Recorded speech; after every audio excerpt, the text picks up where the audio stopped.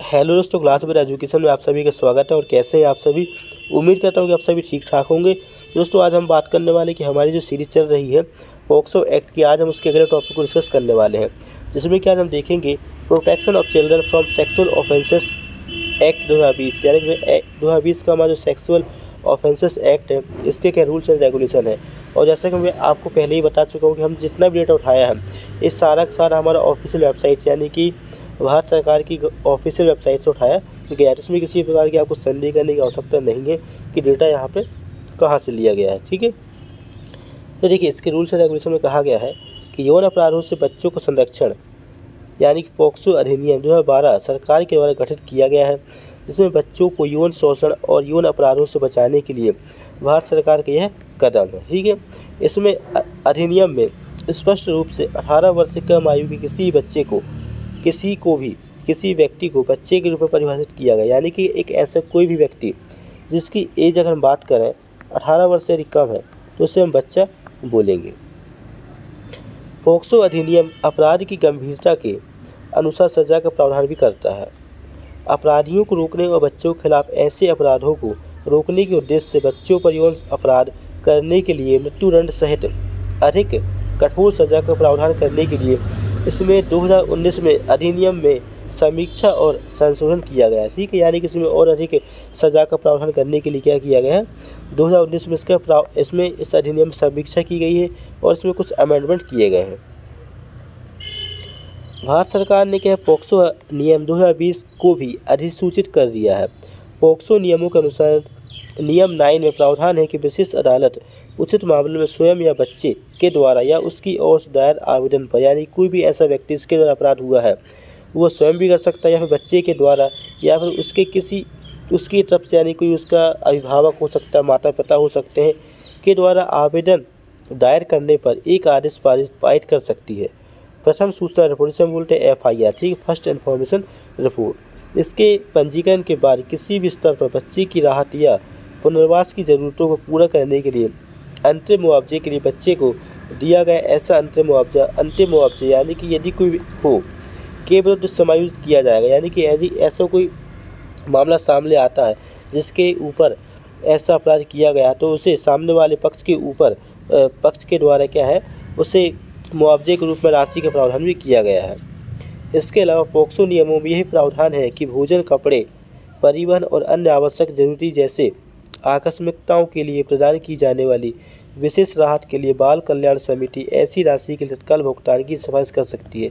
यानी कि बाल कल्याण समिति जो होती है, ऐसी किसी भी कंडीशन में वो चाहे तो उस व्यक्ति यानी उस बच्चे या बच्ची के लिए भोजन, कपड़े, परिवहन और अन्य आवश्यक जो चीज़ें हों, ज़रूरतों की, उन सभी के लिए प्रदान की जाने वाली राशि है, उसके लिए तत्काल भुगतान की सिफारिश भी कर सकती है, ठीक है?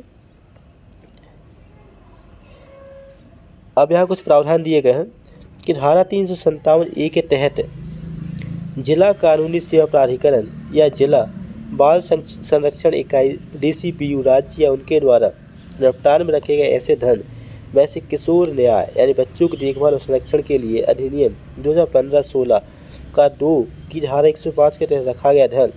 ऐसा तत्काल भुगतान सीडब्ल्यूसी से अनुशंसा प्राप्त होने के एक सप्ताह के भीतर किया जाएगा। यानी कि एक यानी कि आपका जो है वन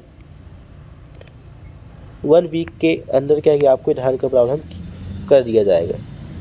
पॉक्सो के नियम के अनुसार बाल कल्याण समिति यानी सी डब्ल्यू सी अधिनियम की धारा उन्नीस की धारा छः के तहत एक रिपोर्ट प्राप्त करने पर या उसके मूल्यांकन के आधार पर और बच्चे और बच्चे के माता पिता अभिभावक की सहमति से या कोई अन्य व्यक्ति से बच्चे को भरोसा हो। ठीक है, और भरोसा है। जाँच और परीक्षण की पूरी प्रक्रिया के दौरान बच्चे को हर संभव तरीके से सहायता प्रदान करने के लिए एक सहायक व्यक्ति प्रदान कर सकते हैं। यानी बच्चे को किसी पर भरोसा हो, उसके माता पिता हो सकते हैं ऐसे, या फिर इसका कोई और व्यक्ति भी हो सकता है इस पर कि बच्चे को भरोसा हो। ठीक है? उसके द्वारा सहायकता व्यक्ति द्वारा सहायता प्रदान की जा सकती है। ठीक है?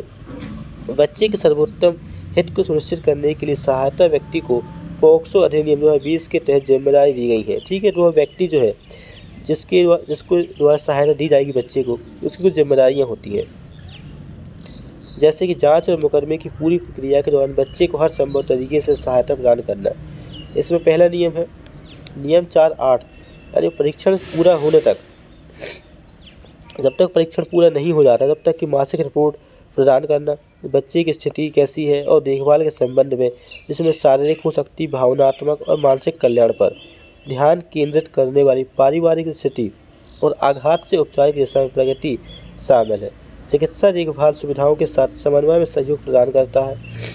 व्यक्ति मनोवैज्ञानिक देखभाल और परामर्श सहित बच्चे को आवश्यकता आधारित निरंतर चिकित्सा सहायता सुनिश्चित करने के लिए और यदि आवश्यक है तो बच्चे की शिक्षा फिर शुरू करना या बच्चे की निरंतर शिक्षा या बच्चे को एक नए स्कूल में स्थानांतरित करना सुनिश्चित करेगा, ठीक है? अगला नियम बोलता है, नियम चार बारह। अभियुक्त गिरफ़्तार, यानी जिस किसी के ऊपर भी आरोप लगा, लगाया गया है, उसकी गिरफ्तारी, दायर आवेदन और अन्य अदालती कार्यवाही सहित घटनाक्रम के बारे में सूचित करना। नियम चार तेरह के अकॉर्डिंग बच्चे और बच्चे के माता पिता या अभिभावक या अन्य व्यक्ति इस पर बच्चे को भरोसा है और विश्वास को निम्नलिखित जानकारी प्रदान करना चाहिए। सार्वजनिक और निजी आपातकालीन और संकट सेवाओं की उपलब्धता। अब दोस्तों, यहाँ पर एक इम्पोर्टेंट जो फैक्ट यानी कि ऐसा कोई बच्चा जिस पर कि अपराध हुआ है, ठीक है तो ऐसी कंडीशन में सरकार आपकी जो गवर्नमेंट होती है, इसके द्वारा क्या क्या स्टेप्स लिए जा सक, लिए जाएँगे, ठीक है? ये सारे स्टेप्स आपको यहाँ पे देखने हैं।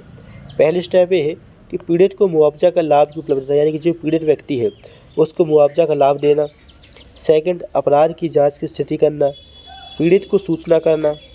जो व्यक्ति पीड़ित है, उसके बारे में सूचना करना किस हद तक उचित है और किस हद तक ये जाँच में हस्तक्षेप नहीं करेगा।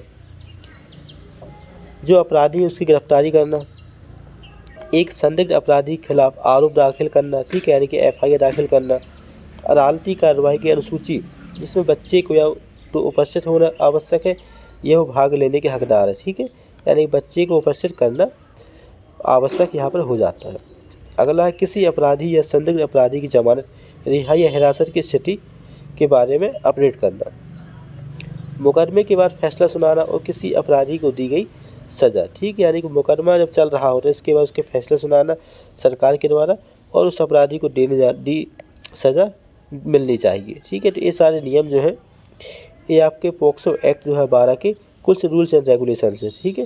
दोस्तों आज की इस वीडियो को यहीं पे ख़त्म करेंगे। अगर आपको वीडियो में कुछ पसंद आया हो तो वीडियो को लाइक और शेयर कीजिएगा। मिलते हैं नेक्स्ट वीडियो में।